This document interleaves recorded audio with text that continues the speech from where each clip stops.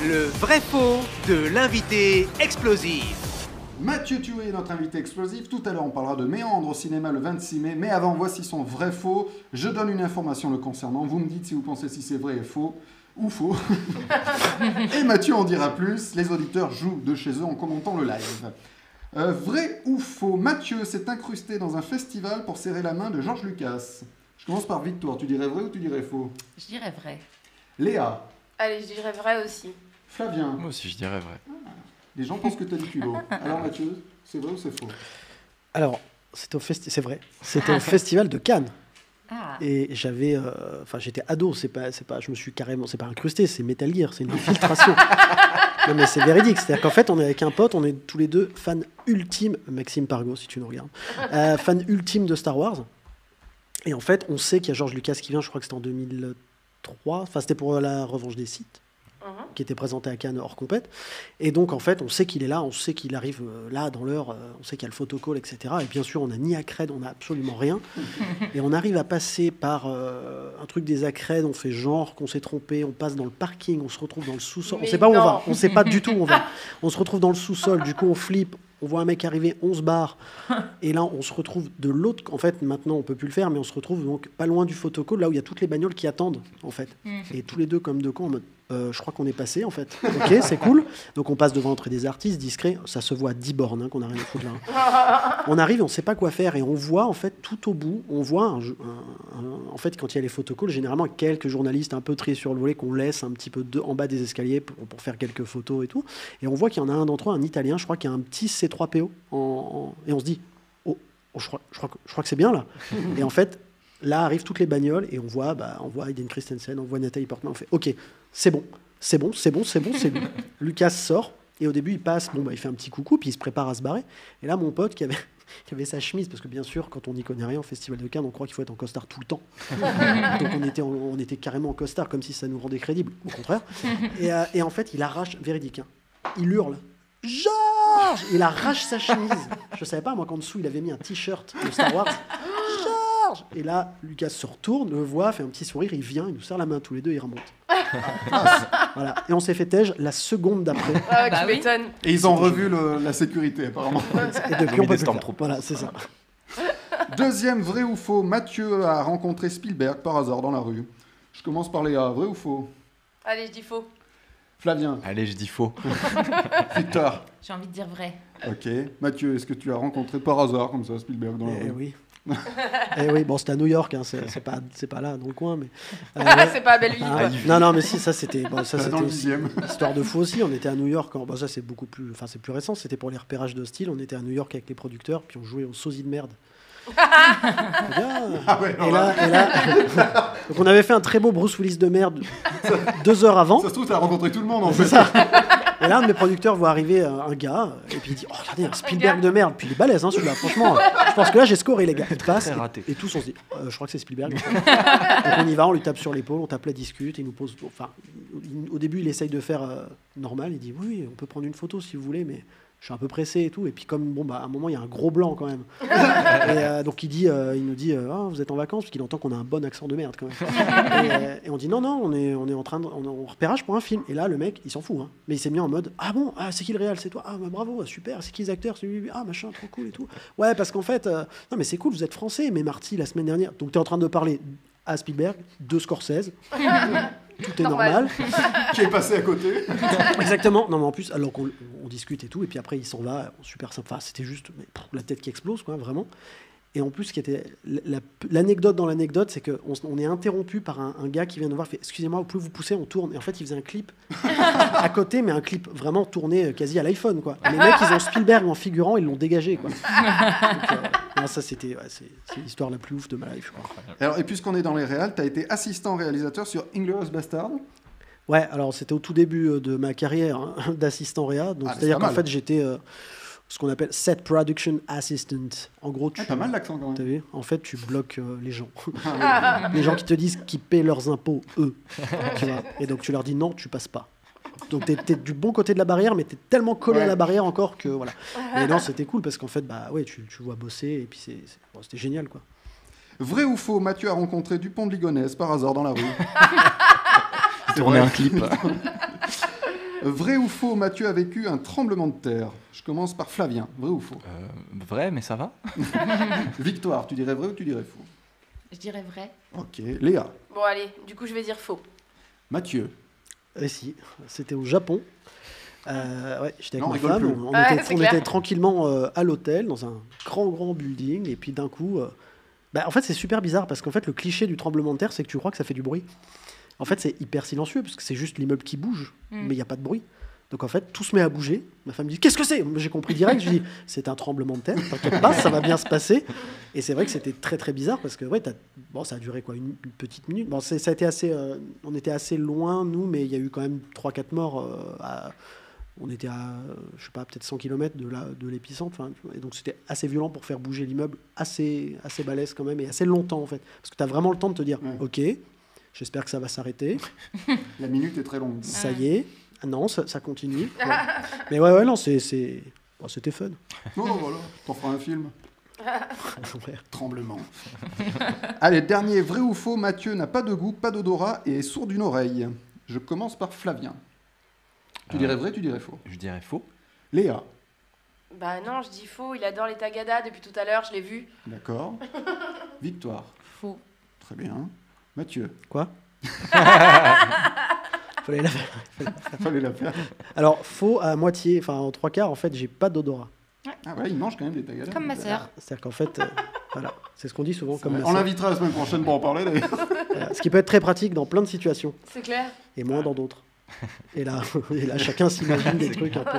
Mais co- alors, comment ça se fait, comment ça se fait? Ah, quand j'étais gamin, en fait, je, me- j'ai eu un- enfin, je me suis pris un truc sur le pif. euh, Ah oui, et voilà. en fait, euh, ça m'a dévié la cloison. À ça, c'est ajouté des espèces de, de- de- de- ce qu'on appelle des polypes qui complètent un peu tout ça, qui font qu'en fait j'ai les sinus entièrement bouchés. Je l'ai remarqué. Il y a, enfin, en fait, je suis allé me faire, euh, je suis allé voir en fait parce que j'avais des allergies. On m'a dit non, mais en fait, on m'a fait un test d'odorat. Et en gros, à part l'essence, tous les trucs un peu vénères comme ça que je sens vaguement au fond, je sens rien. Ah, oui, d'accord. Bah, voilà. Voilà. C'était à moitié vrai. Voilà. Eh bien, restez avec, nous, ça. restez avec nous dans quelques instants. Nous parlons de Méandre, son nouveau film. Maintenant, c'est l'invité explosif. Mathieu Thury est notre invité explosif. Tu es là pour nous parler de ton nouveau film Méandre, ce mercredi 26 mai dans les salles de cinéma. Alors l'histoire, c'est euh, l'histoire de Lisa qui se réveille dans un tube rempli de pièges mortels. Sympa. Et pour, et pour ne pas mourir, elle devra constamment avancer. J'ai bien résumé C'est un peu, ouais, c'est ça. Est-ce que tu veux rajouter Bah, vie de merde, quoi. Ouais, c'est clair. Soirée de merde. Alors c'est un film euh, prenant. On sent, on sent une tension, on sent une urgence. Et moi j'ai trouvé qu'il y avait un côté, alors on en a parlé un peu tout à l'heure en off, il y a un côté jeu vidéo. Ouais, euh, je, je suis un gros gros voilà, gamer. donc, c'est- euh, c'est voilà. voulu. C'est complètement voulu. Alors, il y a eu quelques références pour les jeux vidéo, pour le film ou pas? Ouais, c'est des références un peu larges. euh, C'est-à-dire que, euh, ou alors on peut dire que c'est Pac-Man, mais en. Pas mal, Hein, vrai. Ah non, bien, wesh. Mais euh, non, non, sinon oui, des références. bon, je suis un gros fan de Hideo Kojima, donc ouais, des références liées un peu à Death Stranding, un peu à Metal Gear, un peu à Pity pour ceux qui ont joué au, au petit teaser qui était sorti, qui devait être un jeu fait entre, avec Kojima et Guillermo del Toro, qui était en fait une suite de, enfin une espèce de Silent Hill qui s'appelait Silent Hills, qui devait être avec Norman Reedus. Enfin bref, un truc qu'on voulait tous voir et qu'on verra jamais. Euh, et en fait, ce- cette démo est juste un des meilleurs trucs qui ait jamais été fait en jeu vidéo euh, depuis des années, des années, alors que c'est une démo quand même. Voilà. En fait, le concept, c'était un couloir, un angle comme ça, euh, hanté avec des bruits horribles la nuit, bien flippants. Et en fait, dès qu'on arrivait à la porte, on revenait à la porte du début. Donc c'était Ah un ouais. truc à rendre fou. Et en fait, bah, à chaque passage, il y avait des apparitions fantomatiques de plus en plus horribles. Et il fallait trouver la solution pour sortir. Et en fait, c'est les joueurs du monde entier qui devaient se mettre ensemble pour y arriver, puisque par exemple, il y avait, je crois qu'il y avait du, sué- du suédois qu'il fallait dire dans un micro pour pouvoir reculer de 10 pas, attendre Ah ouais. truc Et en fait, il n'y avait aucune explication, et il y a des gens qui ont trouvé. Ah Ce qui ouais. est génial, c'est que Kojima, il, il avait fait en sorte de se prendre assez la tête pour qu'il prenne au moins deux semaines à trouver. En deux heures, c'était trouvé. C'est fou, parce que c'était d'une complexité, Ouais. mais quand tu vois tout ce qu'il fallait faire, toujours pas les mécanismes en fait. c'est incroyable. Pas mal. Alors, est-ce que le tournage a été euh, euh, difficile et physique pour la comédienne qu'on va citer quand même, Gaia Weiss, euh, qui joue Lisa Ça a été physique un peu pour elle? Bah, je sais pas, imagine. Ah non, 33 mais- jours dans un tube à Voilà, c'est ce que j'allais dire. Combien de jours de tournage? Parce que la- Ouais, c'était 33 jours. euh, elle était là 32 peut-être parce qu'il y avait un jour d'insert. Enfin, elle était, là- elle était tous les plans, donc ça c'était pas évident. Euh, et oui, forcément, au-delà de- du fait d'être dans une position particulière, c'est pas très cool ce qui lui arrive. En plus, il faut jouer avec tout ça. au sens propre. Donc pour, euh, pour, une- pour les comédiens, c'est loin d'être simple. Euh, mais du coup, ça se voit un peu à l'image. Donc ça, c'est cool. C'est vrai. Alors, Méandre est allé en, en festival et il a eu des prix. Ouais. Lesquels Chez- chez Tu les as Tous ceux qu'il y a sur l'étagère. hein, voilà. Il y a eu me- meilleur film. Euh, Euh, pff, ouais, on a eu. Vas-y. je- oui, Lucasfilm. Euh, non, Fantastic Film Fest 2020, meilleur film. Ouais, on a eu, bon, on a eu, on a eu quelques prix de meilleur film, quelques prix. De, j'ai eu. j'ai- Meilleur réalisateur. Non, mais il faut le dire, Ouais, faut le dire, faut le dire. faut le dire. Je- je te sens aussi, quand même, Ah, hein. Il y a eu, Oui, il y a- eu. Réal, Nightmare Film Festival, Ouais. New York City Horror Festival, Ah, euh, meilleur, meilleur réalisateur, quoi Là, on a fait une razzia. Ouais, meilleur réalisateur, meilleur film, meilleure actrice. Ouais, c'était bien. Pas mal. C'est Ah cool. ouais, Pas mal. Et, et pour rappel, Hostile, ton précédent film, avait remporté aussi quelques prix en Ouais, festival. ouais. Donc, euh, non, c'est bien. En festival, ça marche bien. Mais ouais. Donc, c'est Hostile cool. disponible en DVD, Blu-ray, VOD, Fnac. Exactement. Je vais laisser la parole aux spécialistes Sinoche, j'aime bien dire ça. Léa et Flavien qui ont vu le film. Qui veut commencer? Alors, Flavien. Flavien, vas-y. eh ben, écoute euh, Mathieu, euh, j'ai eu la chance du coup de, de voir le film, donc encore bravo à toi pour avoir Et monté le projet, bravo pour cette sortie salle euh, qui est assez euh, incroyable. Moi du coup j'avais une question, c'était ton rapport à Netflix. Est-ce que c'est quelque chose qui t'intéresse, les plateformes de streaming Est-ce que c'est des trucs dont tu peux peut-être pas parler parce qu'il y a des projets sur le feu ou des choses comme ça?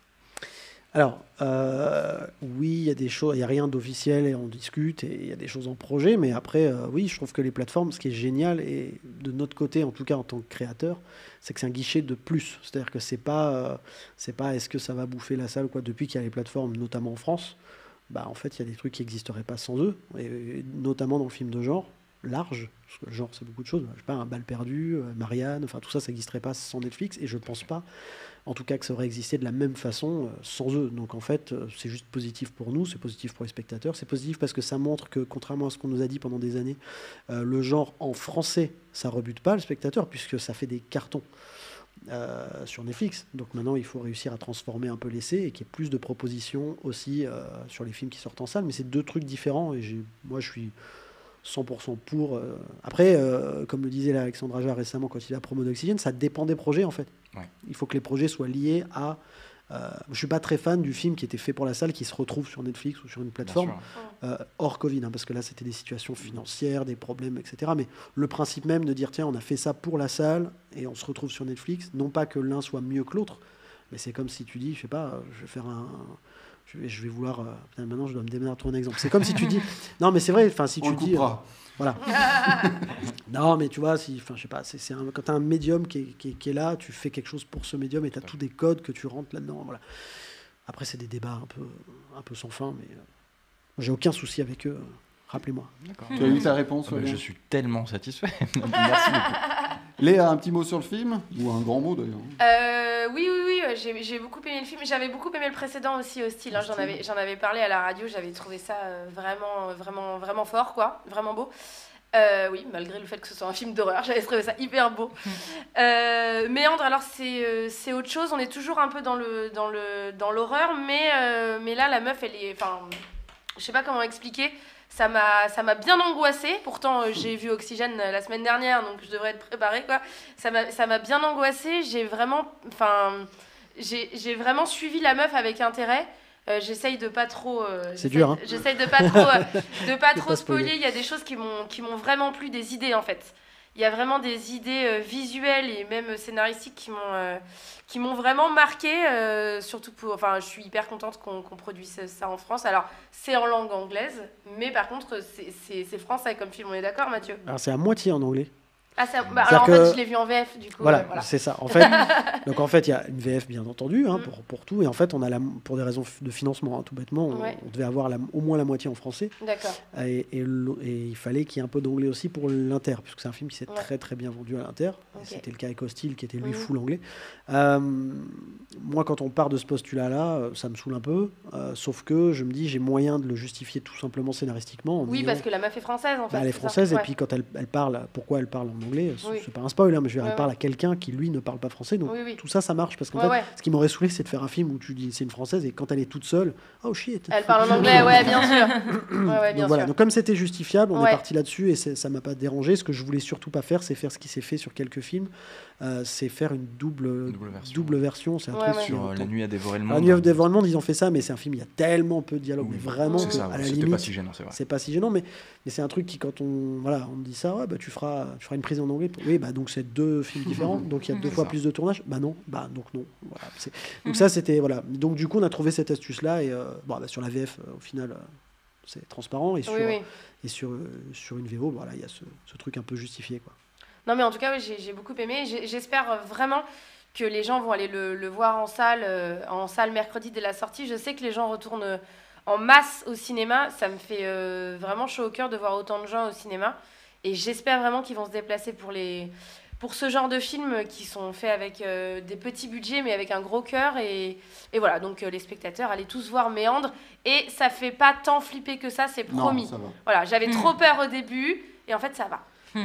Et allez voir la, la bande-annonce sur YouTube, sur YouTube, le teaser, parce qu'on peut pas le. Il n'y a pas beaucoup de dialogue, donc on peut Ouais, pas pas à la radio. Ouais, ça va Mais en tout cas, vous. vous. Alors j'ai lu dans une interview que tu disais que le deuxième film est plus compliqué. Ça c'est avéré exact euh, Ah, sur- alors, euh, on- il y a cette espèce de phrase qui dit le plus dur, c'est pas le premier, c'est le deuxième. Euh, alors, moi, c'était le cas au niveau euh, complexité du tournage, pression, machin, etc. Parce que bah, c'était quand même un, c'était un prototype, ce film, parce qu'à tourner dans un espace aussi réduit. Mhm. euh, et moi, contrairement à, à un film comme Oxygène, où c'est un espace réduit, mais c'est un seul décor, moi, c'est un décor qui est tellement long et tellement compliqué qu'en fait, c'était plein, plein, plein de décors. euh, qu'on réunissait ensuite au montage. Donc c'est- c'est- c'était très très complexe et surtout personne peut intervenir en même temps. D'habitude sur un plateau, tout le monde est là, un raccord maquillage pendant Ouais, que le mec du son, machin. tout. Là, il faut attendre que l'un fasse son truc et puis une fois que l'autre a fait autre chose, bah ah merde, j'ai décroché le son, faut recommencer, hop, on ressort tout. Bref, c'était hyper complexe et on découvrait les choses au fur et à mesure. Mais par contre, euh, je suis pas d'accord quand on dit toujours le deuxième le plus dur, ça dépend. C'est-à-dire qu'en fait, euh, le premier film, quand t'as pas fait de film et que tu veux faire ton premier long, c'est pas est-ce que je vais faire un bon film ou quoi, c'est est-ce que je vais réussir à faire ce que j'ai toujours rêvé de faire et, et- et devenir réel, faire un film. Donc la pression, elle est, elle est beaucoup plus grosse que le deuxième. Tu dis juste, bon bah voilà, il faut transformer l'essai, il faut réussir à faire des projets. Donc euh, là-dessus, je dirais non. Mais par contre, c'est vrai que oui, sinon, techniquement, c'était c'était compliqué. ouais. Attends le troisième. Est-ce qu'il se passe des choses sur les réseaux Euh, on a une petite question d'un de nos auditeurs qui est très sérieuse, qui demande ce que tu réponds euh, à ceux qui arrêtent pas de dire que c'est une copie de Cube. Alors, vu que c'est les gens qui l'ont pas vu, Forcément. non. Ça sort mercredi. Euh, voilà. Non, non, en fait, euh, alors sur, sur Cube, moi, je, enfin, de toute façon, le film s'appelle pas Tube, donc tout va bien. Euh, non, non, mais c'est logique. En fait, moi, bon Cube, je l'ai pas revu depuis. Enfin, là, je l'ai revu euh, récemment, du coup, puisque tout le monde me dit, ah, machin. Moi, je l'avais pas vu. Je m'en souviens très, très bien, hein, mais je l'ai pas vu depuis 15 ans. Euh, J'adore le travail de Vincenzo, Nathalie. Hein, c'est Ouais, super, euh, super réal. Et puis Cube a posé vraiment. un. Il n'y aurait pas eu Saut sans Cube, par exemple. Donc ça, c'est tout un le côté piège et le côté de, après, Cube, c'est comme Saw, c'est-à-dire c'est un film où on regarde des gens souffrir, on y prend du plaisir, et c'est ce qui est intéressant à analyser d'ailleurs, c'est c'est un espèce de, de truc particulier. Moi, je voulais faire un film où on est avec le perso, et en plus, Cube, c'est un film que je rapprocherais... Enfin, si je devais rapprocher un film récent, je dirais The Platform, plus proche de Cube. Pourquoi? Parce que c'est un film, sur, un film sur les rapports sociaux, un film entre, de rapport entre les personnes, euh, et moi, c'est un personnage unique qui doit traverser euh, à la fois des épreuves physiques et des épreuves perso, de deuil, etc. Donc, on est vraiment dans autre chose quand on l'a vu. Alors, bien sûr, on peut dire oui, c'est un truc de SF avec des pièges dans un espace confiné. Ça, c'est- Oui. c'est la même réflexion que dire qu'Avatar, c'est ouais. Pocahontas. C'est-à-dire que Ouais, oui, sur les, sur les archétypes de base, peut-être. Après, on peut aller plus loin. Ouais. Mais non, voilà, donc euh, après, euh, moi, alors, je- moi qui ai vu le film, effectivement, euh, le, le- le- le propos n'a rien à voir. Quoi. Oui, moi j'ai hâte d'avoir quelqu'un qui me dire Ouais. bah j'ai vu les deux bah en fait euh, c'est bien c'est bien pompage de cul bah pour, je- pour l'instant je Non, a priori, non. Voilà. non non ça enfin pour moi voilà Mais c'est- c'est vrai que comme dans Hostile, t'as un côté mélo qui a pas du tout euh, dans, dans, dans Cube par exemple, comme tu disais, c'était des trucs beaucoup plus sadiques.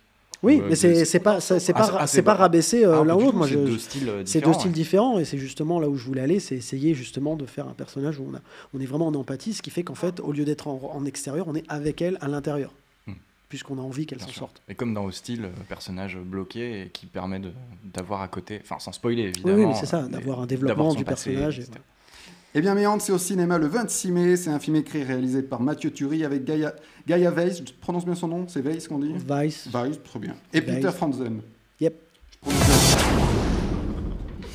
Et maintenant, c'est l'interview explosive. Mathieu, comme tu es venu nous parler de ton film d'horreur Méandre au cinéma euh, mercredi 26, je vais te faire une interview horreur. Tu réponds très vite, tu ne, tu ne réfléchis pas.